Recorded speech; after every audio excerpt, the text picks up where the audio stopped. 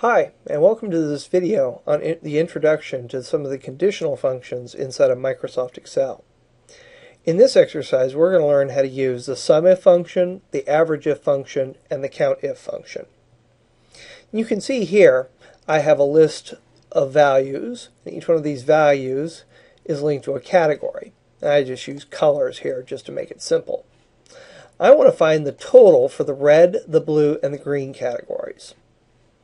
So to do that, I'm going to use the SUMIF function. I'm going to type in equals sum if and then a parentheses. Now there are three different criterias that you need to provide, or not criteria, parameters you need to provide for a SUMIF function. The test range, the test, and the sum range. The test range is the range of cells that you're testing for a value on. And in this case, I'm going to be looking through A2 to A16 to find any values that match my test. So I've entered in A2 to A16, and I'm going to press F4 because I want to make those an absolute value so I can autofill them down. Then I'm going to type a comma. The second parameter is the criteria, which in this case is going to be whatever the value is in column D, in this case specifically in D2. So I'm saying go ahead and look up the value in D2 in the range A2 to A16. Finally, whenever I find a match between D2 and the test range, I want it to total a value. So the sum range is going to be B2 to B16. And again, I'm going to make that an absolute reference and then close my parentheses and hit enter and you'll see that the red values totaled 900. And I can now autofill those down, and you can see the way blue and green worked out as well. And remember, what the SUMIF function basically is doing here is it's saying, look in every cell from A2 to A16 and see if the value in D2 is there. In this case, the value in D2 is the value red and then sum the corresponding cells in this range here, B2 to B16.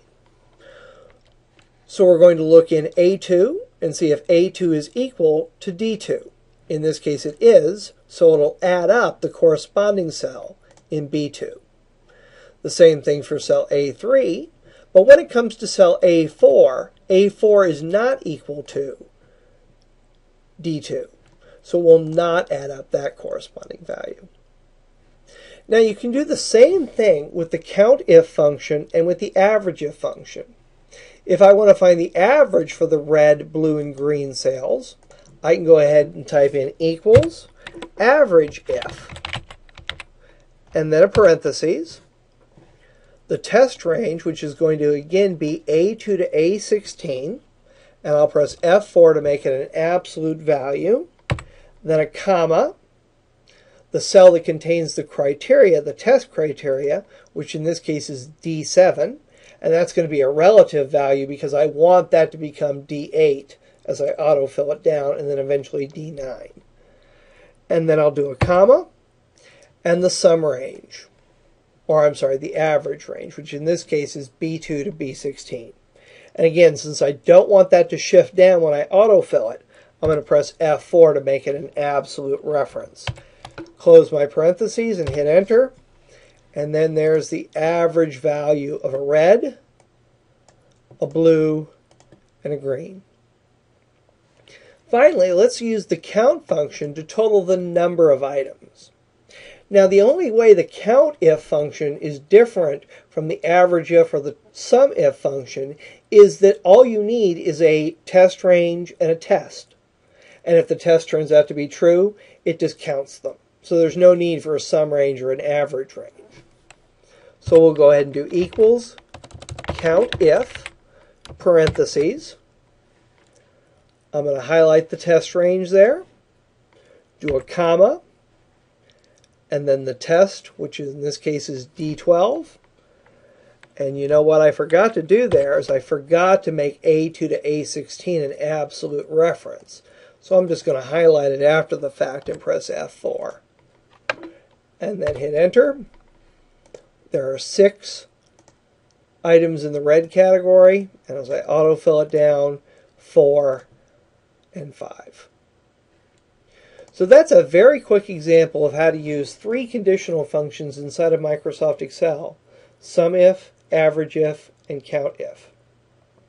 If you're interested in more video tutorials on Excel, be sure to visit our website at www.learnexcelfunctions.com. That was learnexcelfunctions.com. And you can also download this exercise workbook for practice from that site. Simply go to the uh, proper Excel course section and you can download the workbook.